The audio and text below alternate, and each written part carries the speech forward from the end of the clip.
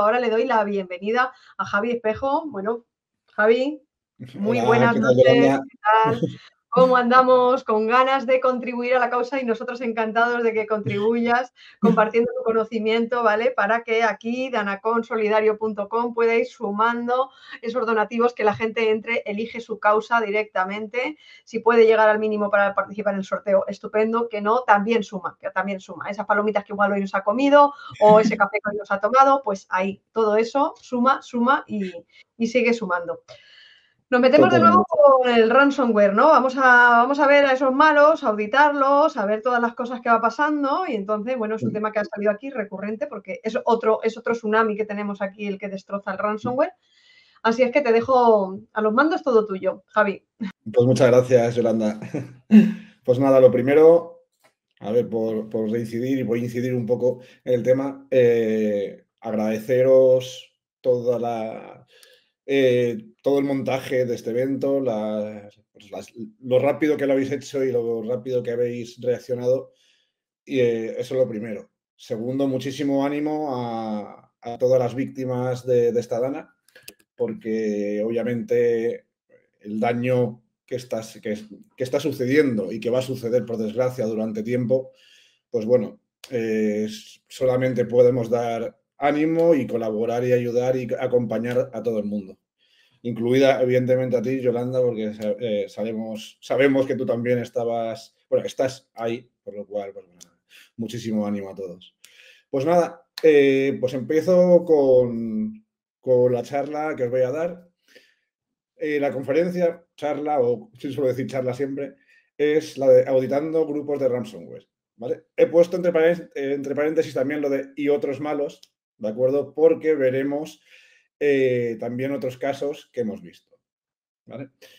Todo esto, esta presentación, bueno, primero, eh, ¿y quiénes soy? A mí no me gusta mucho el, eh, el, incidir mucho en, mí, ¿de acuerdo? De hecho, normalmente no pongo esto, pero bueno, soy, llevo en esto, pues, como digo yo, dos o tres años. O sea, desde el año 2001 dando conferencias, empecé con temas de IP tables hasta, bueno, de IP hasta estos días. Eh, soy profesor, director, tengo una empresa de ciberseguridad que es Bullsec y eh, bueno, lo que yo digo a mis alumnos y lo que digo siempre, eh, yo soy un eterno aprendiz y como también digo siempre, quien en ciberseguridad no le gusta estudiar, pues siento decirlo que, que lo va a tener difícil.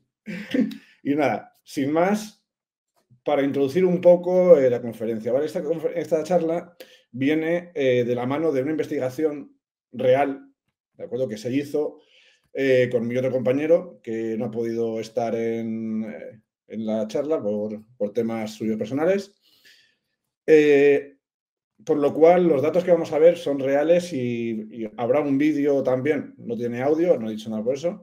Veremos el, pues, cómo se hizo y cómo, bueno, eh, tuvimos la suerte en que esto desembocó en que al mes, ¿de acuerdo? Al mes de, nosotros, eh, obviamente, como pone ahí, toda la información se compartió con las fuerzas y cuerpos de seguridad del Estado españolas competentes, ¿de acuerdo? Eh, por lo cual, bueno, desembocó en que al mes justamente de todos estos hallazgos, pues ese grupo desapareció. Y como veréis, es un grupo que muchos de vosotros fuisteis víctimas y fuimos víctimas de ellos. En ningún momento se realiza explotación de software o hardware, ¿de acuerdo? Tampoco se degradan servicios o se inutilizan los mismos. Las opiniones y comentarios de los ponentes son propios y no eh, representan a sus empresas. En los mensajes, esto es otro tema que me gusta a mí incidir, ¿vale? Vais a, eh, va a haber palabras malsonantes, ¿vale? Pero son literalmente porque vamos a ver mensajes de Telegram de la conversación que tuvimos los dos a medida que íbamos haciendo la investigación. Y yo reconozco que mis cosillas, pues a mí mis palabrillas malsonantes, como digo, por no decir otra definición, pues se me escapan de vez en cuando. Resumiendo, ningún animal, grupo de ransom, etcétera, no ha sufrido daño alguno durante la realización de esta charla. ¿Qué pasaría eh, yo lo he planteado de esta forma. ¿Qué pasaría si un grupo o grupos de ransom se enfrentan a una ISO 27001 o a una SOC 2? ¿La, ¿La superan? ISO 27001, control A12.6. Objetivo, prevenir el aprovechamiento de las vulnerabilidades técnicas. Gestión de vulnerabilidades técnicas en la, A1261. Se debería obtener oportunamente información acerca de las vulnerabilidades, bla, bla, bla, bla, bla.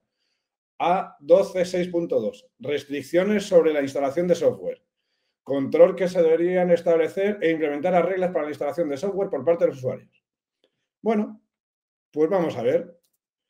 Caso Babook este es el caso que os decía. Este grupo, como vemos, eh, año 2001, toda esta investigación fue en el año 2001. Tuvimos que esperar, obviamente, unos años a que nos dieran el permiso para, hablar de determinados temas.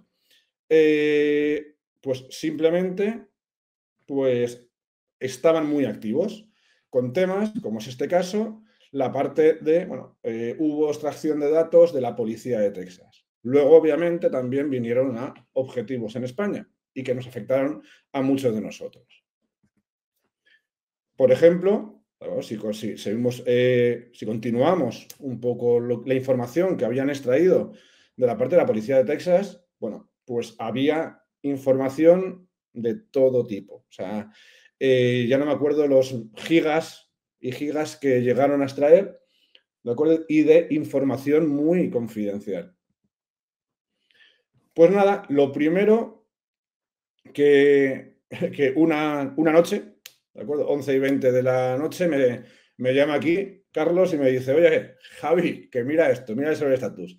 Pues nada, ya me lanzó la zanahoria y me encuentro un server status. Para quien no lo sepa, un server status, hay varios, hay grupos de ransom que lo utilizan, lo que pasa que eh, lo ponen en el Onion y bueno, en Onion se puede llegar a, eh, a dificultar todo lo que se ve por ahí. Por lo cual vamos a seguir viéndolo.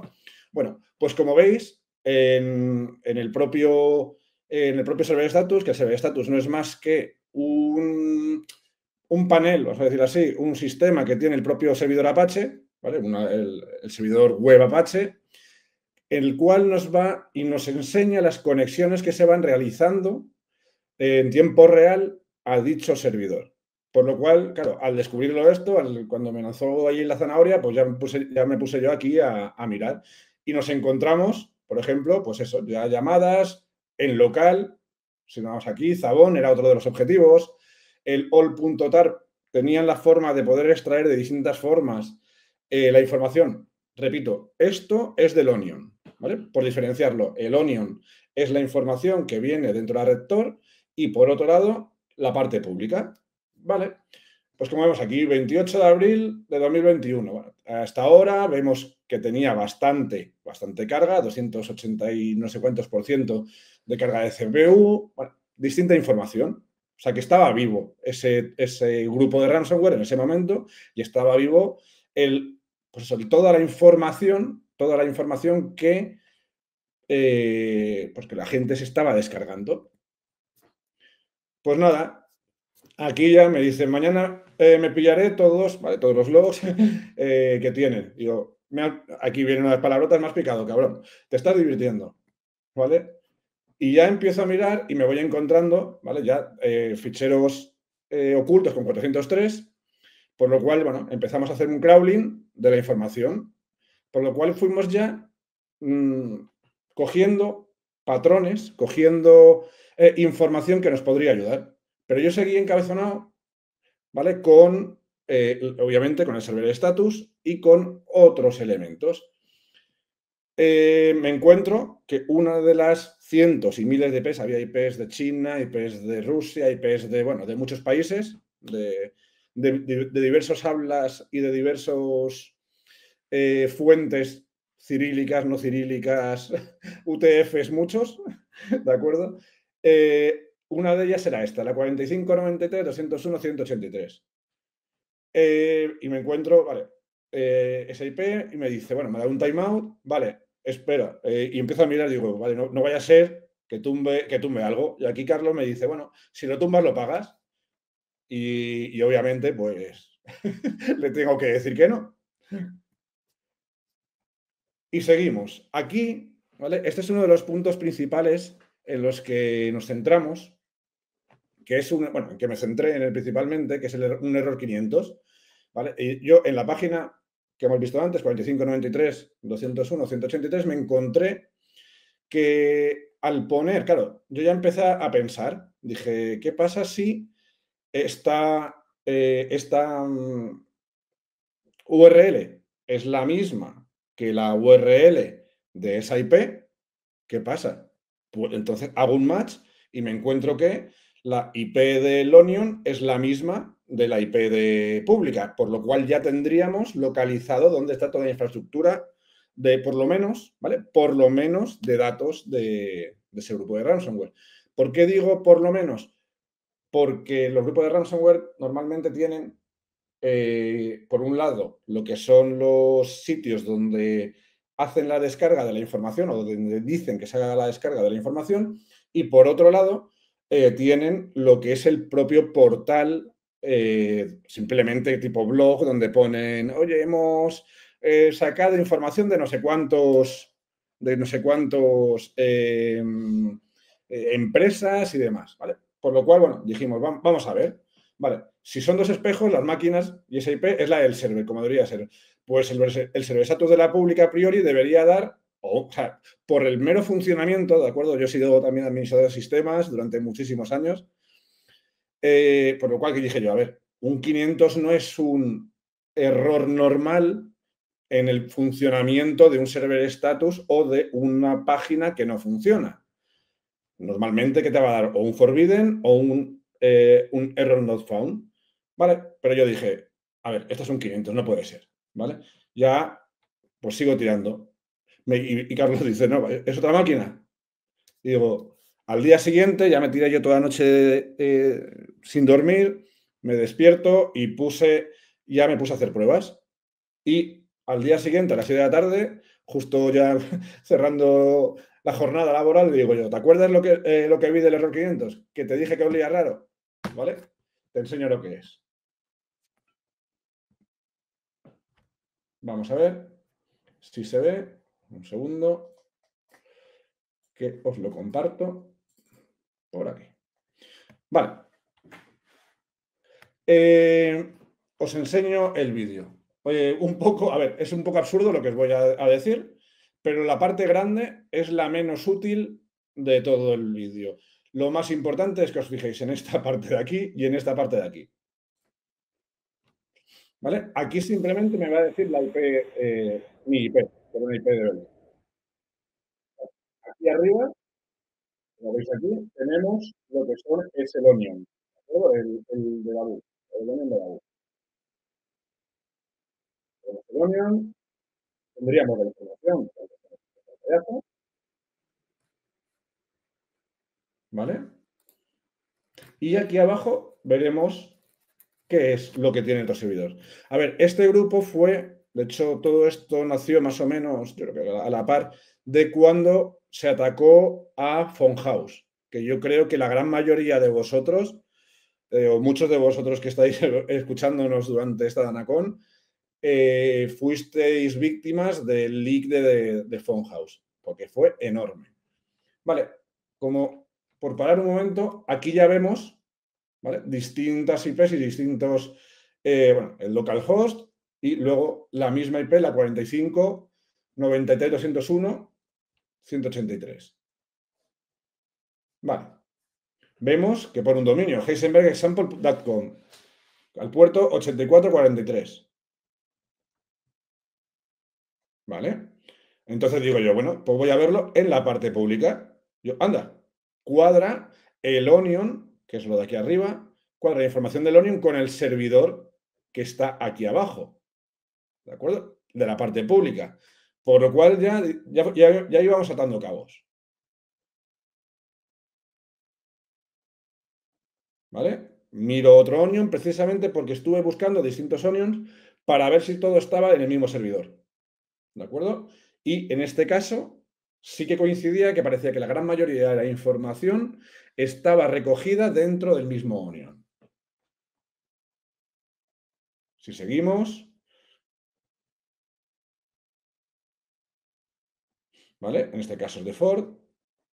Bueno, aquí eh, soy un, mi muñón hace que me equivoque 20 veces, y lo único que quería poner era el server status en, en otro de los onions y me encuentro lo siguiente. ¿Vale? Me encuentro las mismas llamadas del el otro onion, por lo cual dije yo, vaya, pues va a ser lo mismo. perdonad. Vamos a ver. Seguimos tirando y vemos, ¿vale? Marco aquí mi IP en el panel de la izquierda. 194, 187, 251, 155.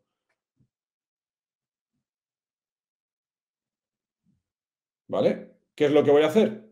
Pues me voy a, voy a ver qué es lo que pasa aquí. Y digo, me voy a, ir al server status. ¿Qué pasa si yo ahora refresco en este server status de la parte pública y me encontré directamente en el Onion, me encuentro mi IP pública, por lo cual ya es inequívoco que mi servidor, bueno, mejor dicho, que mi IP está atacando al servidor Onion a través de su pata pública. Y efectivamente, ese error 500 que me quitó el sueño, como hemos visto ahí, era una página HTML. ¿Qué es lo que quiere decir? Pues que habrían cerrado por algún tipo de cabecera, por algún tipo de flag que hacía que no se pudiera consultar el server status por la pata pública.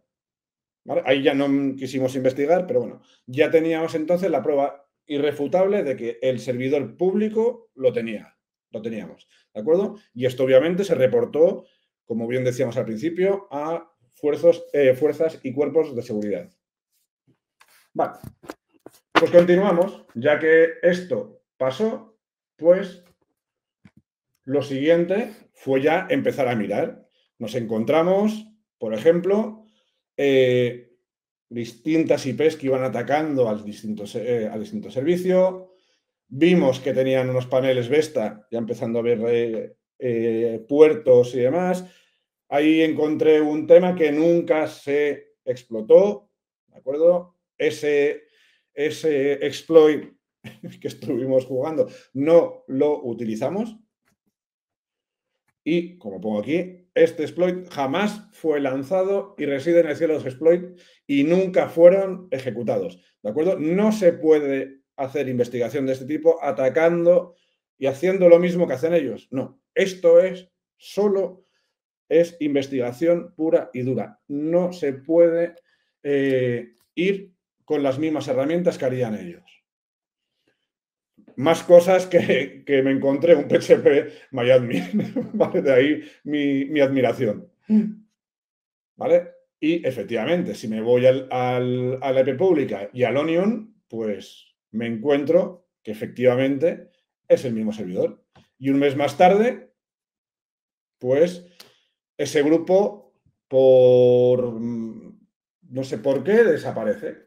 ¿De acuerdo? Así que por ese lado, bien. Otros grupos en los que hemos estado haciendo investigaciones y hemos hecho durante estos años. Eh, por ejemplo, el tema de la gente de Ransom House una de las cosas que tenía era su API, por lo cual aquí se podía haber hecho una descarga directamente de cualquier tipo de información a través de su propio Onion para uso y disfrute de cualquier eh, persona. Otro que yo me he encontrado aquí, ¿de acuerdo? Es este, el de Laplace Clipper, un cryware que eh, yo estaba investigando, bueno, miento, yo estaba eh, en una clase en una de las universidades en las que doy clase, me pongo a analizar por una sandbox las distintas llamadas y me encuentro un panel de Laplace Clipper. Pues nada, jugando ahí con los alumnos, pues se me ocurre poner Laplace admin igual admin. ¿Y qué es lo que pasa? Pues efectivamente entras, entras al panel y tenía, bueno, tenía la licencia Renewal. Para quien no lo sepa, eh, Laplace Clipper es lo que se denomina Cryware que se basa en el robo, eh, es, para robar los wallets de criptomonedas. ¿De acuerdo? Una pena que no tuviera licencia, el precio no era muy elevado, pero obviamente pues no se va a utilizar. Otras ISOs que también fallaron, por ejemplo, el grupo de Ryuk, eh, lo que hicimos fue también destorificarlo, una vez más. Lo mismo, de, eh, lo, lo mismo que pasó con el grupo de Babuk, nos encontramos, bueno, aquí estuvimos haciendo pruebas, eh, que fue, bueno, vimos por un lado empecé yo ahí, Carlos me dijo, Javi, te estás yendo de, madre, porque fue, yo me puse a comparar el, Onion con una de las páginas que, que estuvimos haciendo revisión de, de, recordar, no sé si era víctimas o, no, eh, y encontré unos, lo que son las ETAG, ¿de acuerdo? Que son unas, unas, unas etiquetas de caché y totalmente inequívocas en los dos servidores y era la misma, y yo dije a Carlos, Carlos, Carlos, ya tenemos identificado este con el Onion. Vale, Carlos me dijo que eso era muy complicado para que alguien lo entendiera. Entonces, lo que hizo Carlos, que fue? Lo que bajó, fue comparar el tamaño de la web, firmarlo, ver que el hash coincide, ¿vale? El hash, el, el contenido, vamos a así, es el mismo y evidentemente ya con eso pues se puede reportar. Y así fue. Eh, lo que decíamos, con la gente de ransomware, eh, de Ransom House, fue todo el tema de, las, eh, de los APIs, ¿vale? Toda la información. Con Cuba nos pasó tres cuartos de lo mismo. Aquí estaba yo también jugando. Creo que fue también una zanahoria que me lanzó Carlos. Y nada, me puse a revisar y a través de un fallo que encontré en la página, pues a ver, lo habían securizado bien, no vamos, no vamos a engañarnos que lo habían securizado de manera correcta. Quiero decir, el panel de, admin no tenían un WordPress con un WP-admin, no, no, no. Habían puesto todo esto, ¿de acuerdo? Esto era la URL del panel de admin de Cuba. Eh, pero bueno, lo encontré y a través de eso, pues pudimos, eh, bueno, se reportó también. Y ya por terminar, ¿De acuerdo? Obviamente, todas las empresas pasan o no pasan las ISOs. En este caso, los malos, pues no la pasan. Y nada, eh, por lo que decía, yo soy Javier Espejo, aquí me tenéis en, redes sociales, en Twitter con mis troleos y mis eh, bromas varias, que me encantan los chistes eh, muy buenos, ¿de acuerdo? Y nada, daros gracias a todos, por favor, donad, que es lo importante de principalmente, que es la ayuda a todas las víctimas de, la DANA, solamente eh, deciros también, Yolanda, Edu, Alfon y demás, que muchas gracias por el evento. Bueno, Javi, desde luego que voy a decir, o sea, aquí, bueno, la gente está diciendo, vaya derroche de, ¿no? Vaya derroche de, conocimiento y todo interesante. Pero mira, muchas gracias, Javier, muy interesante, ¿vale? O sea, que, directamente espectacular y todo eso que puedes estar viendo, buenísima investigación, muy chula la charla, o sea, nos quedamos con todos los agradecimientos y bueno, desde aquí agradecida es poco, ¿vale? Porque hayas estado contribuyendo aquí a la causa literalmente por esto, ¿vale? Javi, muchas, muchas muchas gracias. A vosotros, Yolanda.